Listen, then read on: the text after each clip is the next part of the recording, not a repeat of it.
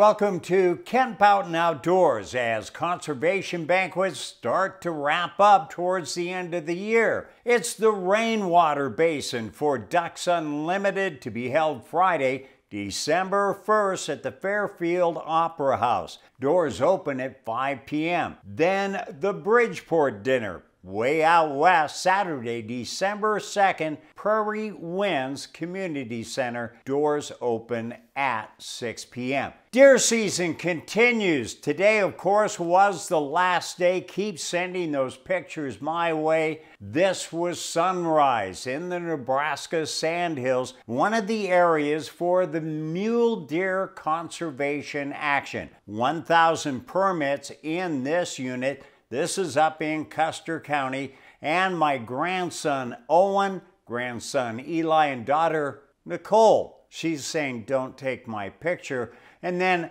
son, Chad, cooking on the grill. We rough it out there in the field. This is lunchtime, and it's all about that family get together not necessarily the hunt. Of course, we're trying to fill those mule deer tags. There are only a thousand available in that unit, 3,000 statewide. That is down from 5,000 mule deer permits given out last year. The reason the mule deer, not the numbers they used to be. They are down drastically because of brainworm problems and also EHD maybe even some chronic waste disease. We saw more mule deer this year in the opening weekend than we have in several years, so that is promising. The bucks that we saw probably two year old bucks. We did see one probably around three years old. When the Game and Parks first opened the season, 1945, only 275 mule deer taken, only two whitetail.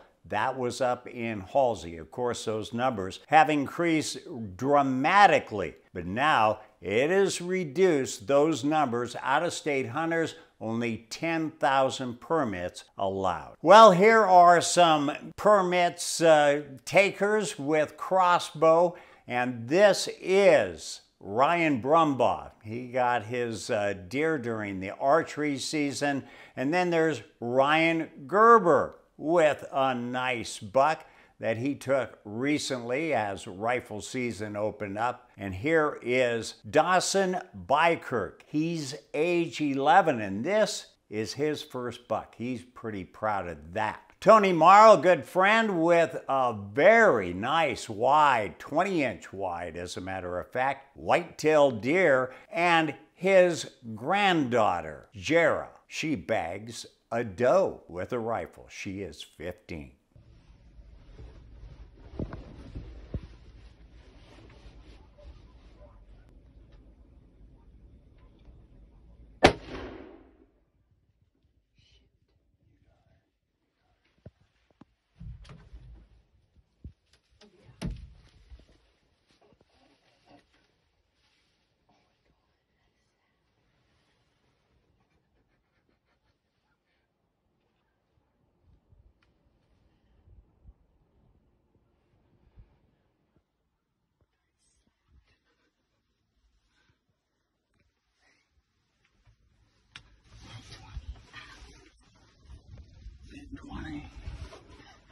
I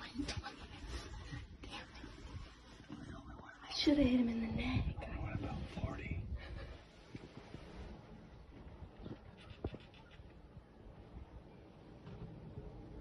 The sun was in my eye. And there is the result of Jera's doe. She made a great shot and dispatched of that deer quite well. And always good eating those does. Of course, season choice is coming up. Muzzleloader season is coming up as well as we look at sunset in the Nebraska Sandhills. Remember, send your pictures my way, Kent Boughton 2023 at gmail.com. And also remember, take a young person hunting or fishing. Don't forget us older folks either.